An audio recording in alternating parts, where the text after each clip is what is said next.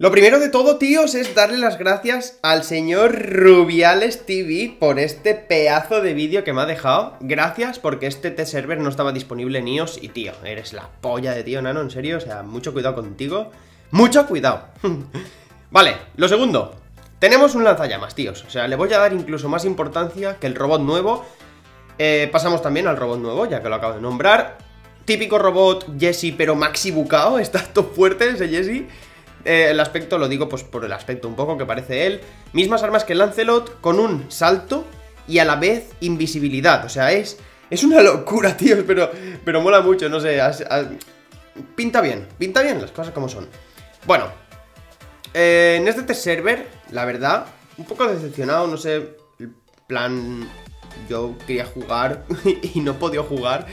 Me ha tocado pedir un vídeo, es que parezco aquí un puto yonki nano de la droga. Pero bueno, Dejando esa parte, me gusta mucho el tema de que no paran. Vemos robots pesados, nuevos. Este es pesado, en concreto. Ya veis la equipación que lleva, lo tosco que es.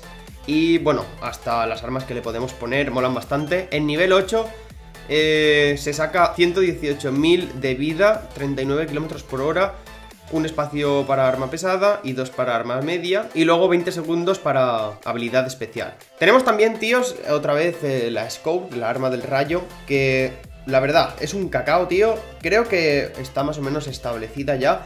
Pero es que esta puta arma no sé, no, yo no entiendo cómo lo ponen en el, Gmail cuando te viene el esto del test server, que no entiendo qué pone, nano, o sea, pone DPS at 8340M range que no entiendo nada, tío. El lanzallamas, volvemos al lanzallamas a nivel 8. Aquí pone que hace 5090 de daño por segundo, ¿vale? Un rango 300 metros y un reloj de 5 segundos. Está de puta madre, no sé, bastante guay. Mm, traspasa, esto es una buena noticia y es que traspasa escudo físico, pese a tener escudo físico, a lo mejor el Lancelot le vas a hacer daño aunque tenga el escudo físico. Y si lleva el escudo shield, ¿vale? El escudo de energía, también vas a poder hacerle daño, no tiene ningún inconveniente hacia él, así que de puta madre.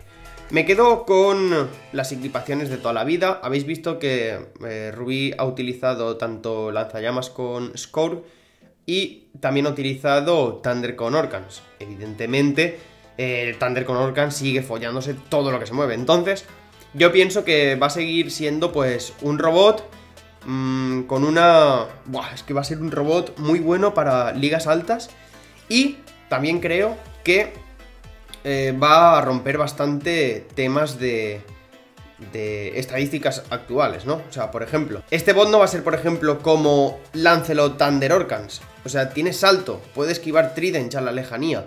A lo mejor incentiva un poco más el hecho de, utilizar incluso menos ancile para apropiarse más de los metros del enemigo del terreno enemigo y tal, no se puede estar bastante bien. Bueno, de todas maneras os digo una cosa, yo no lo he jugado, así que tampoco puedo deciros muchísimo más de lo que estáis escuchando.